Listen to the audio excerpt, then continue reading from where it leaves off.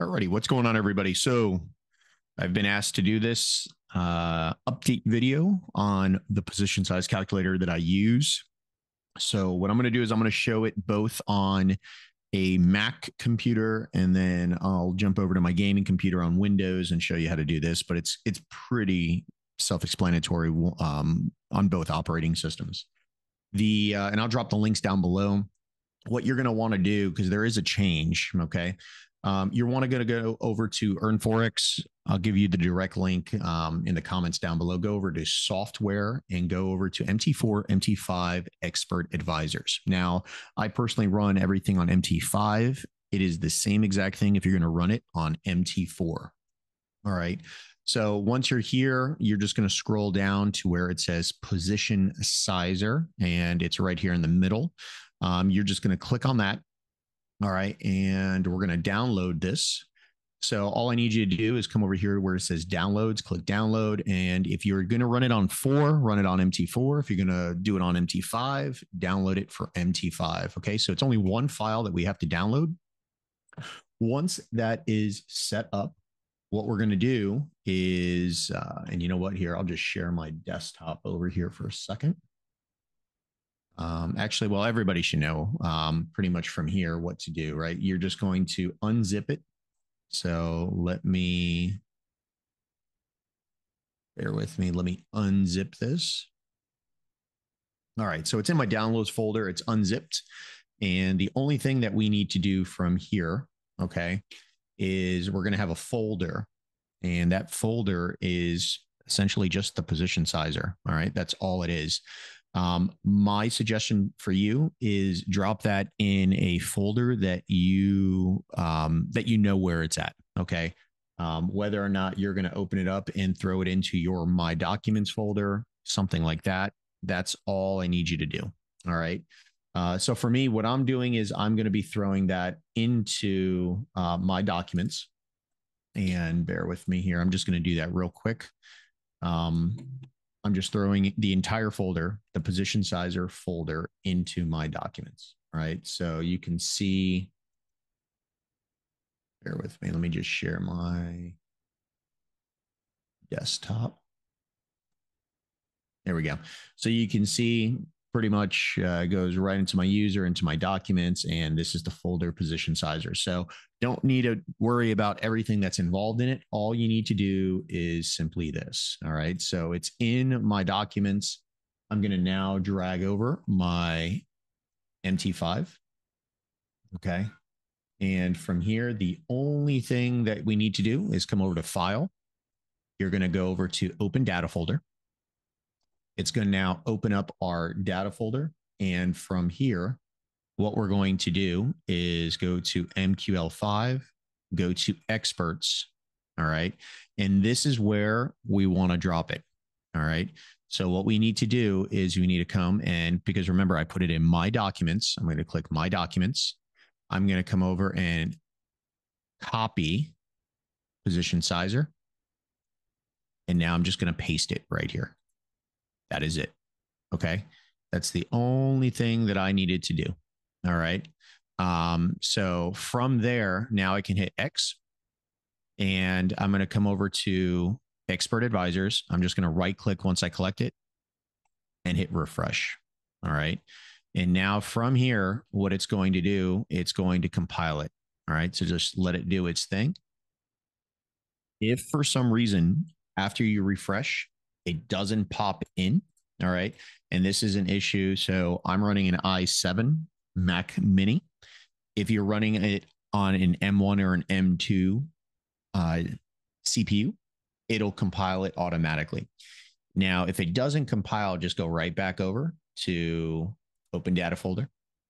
You're going to come, go right back into MQL5 experts, and you can see the folder is here under position sizer. Now, the only thing I need you to do is we're going to go ahead and uh, double click on the actual MQ5 um, file. So double click on this. And now it's going to open up your, you can see it right here, your position sizer. I don't even need that anymore.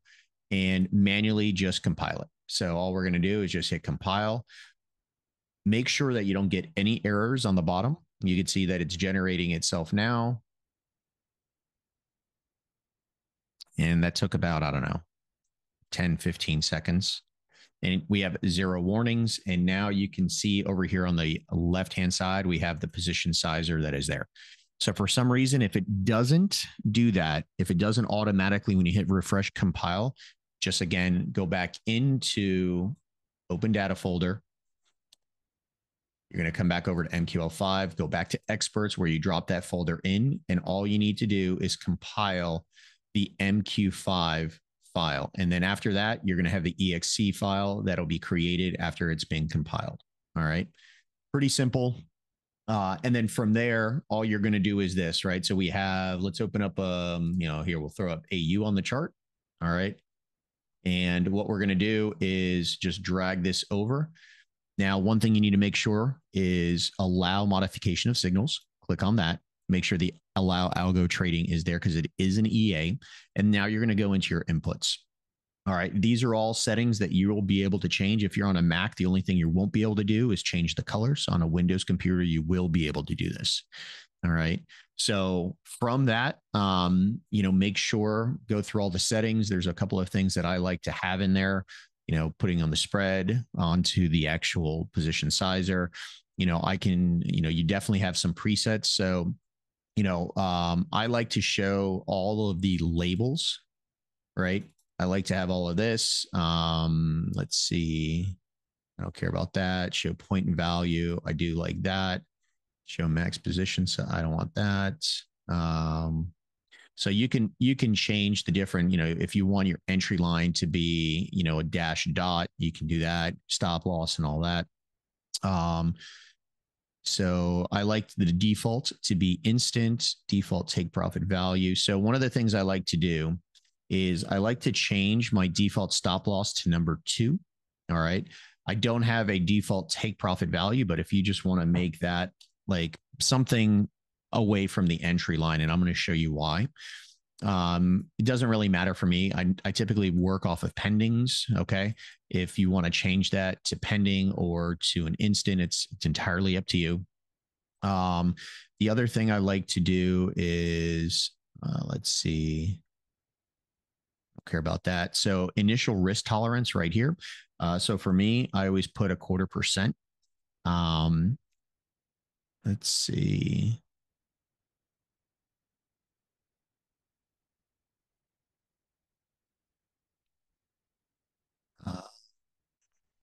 Just kind of going through it real quick. I already have this saved, but I'm going to show you where to save it. Um, let's see, max position, subtract. Yes, let's see. Um, ask for confirmation. So I always ask for confirmation on pending because I want to make sure I get it right. Um, I don't care about trailing stop, break even, don't care about that. Let's see, use commission to set TP distance. No, but here, show spread. I like to have this up in the top of it. Um, take profits. I always run with four take profits. So it's going to split the trade into four. Uh, now, quick, quick risk. So this is where I put 0.13. All right. And I do a 0.25 uh, the piece. And then here is where you can make your hotkey, whatever you want it to. I personally put shift and Z. Okay. The reason I do that is because the shift and the Z uh, keys are on the left hand side, and that's something that I can use with my left hand. I don't have to think about it. So I'll put the shift key in there. Shift plus Z. You can make a control, whatever you want. Um, okay. So I've got pretty much really quickly what I want to put in there. Now I'm going to hit save and I'm just going to put PSC and hit save. Okay. Uh, so now it's good to go. I'm going to hit OK. And now you can see that I've got up here my PSC. All right. Spread is five. It's showing me pretty much everything in here. Okay. Um, you can see entry. And the gray boxes are stuff that you can tap on if you want to move it around. All right. So if I was going to throw an order in here, let's go, you know, let's just say we're, if I wanted to throw an order in here, okay, what I can do is something like this. All right. I can come over and, you know, let's just say that I'm going to move. All right. I'm going to move the stop loss line to this high right here. I'm going to now put my entry line, you know, somewhere above here. And you know what? Just just so that we could see it, we'll do it like this. So stop loss above here. Let's say I was going to do my entry was going to be right here. And now I want to put take profit. So I just click on this take profit button. And what it'll do is it'll create all of the take profits for me. All right. Um, now all I have to do is just drag this down and it'll tell me exactly based off of, you know, my in here. We'll we'll delete this. And you can see, all right. So when you click the take profit, it'll do that. Same thing. If you drag your entry price anywhere it's going to, and you click the stop loss, my default was two pips. It's going to move the stop loss two pips above where that was. Okay. So if we now do, and here we'll do it like this again, right? I'm going to double click it. We already saved it. So I'm just going to load it. Here's my PSC. I'm going to load it, hit OK. And now it's going to drop into, there it is. It's going to drop into here with all of the data. If you want to make it so that every time you open a chart, like I showed you in the last video, right? What you want to do is you want to create a template and save it as the default template, right? So just create it as default. Click yes, it's going to ask you to override. So now if I open up like the euro, I'm sorry, the NZD USD chart, automatically my PSC is loaded in. Okay. And then from there, it's the same PSC, right? You can go through, you can change all the settings you want. Um, you know, you can move your positions around. I like it because it tells you exactly what your profits are going to be and, all of that. All right. So very simple how to create the um, or how to install the new EA for the PSC. And then once I want to put the trade in, remember uh, for me, I've got the hotkey set. Okay. So what I'm going to do is here, I'll show you real quick. So if that's my stop loss up there, and I'm going to put my order up here.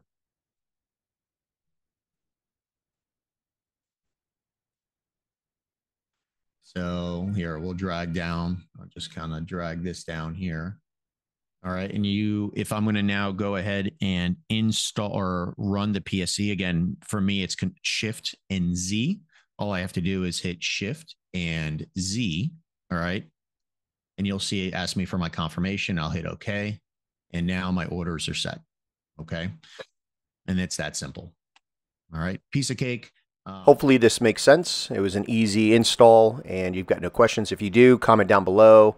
Give me a like, subscribe, and I'll catch you guys in the next video. Have a great one.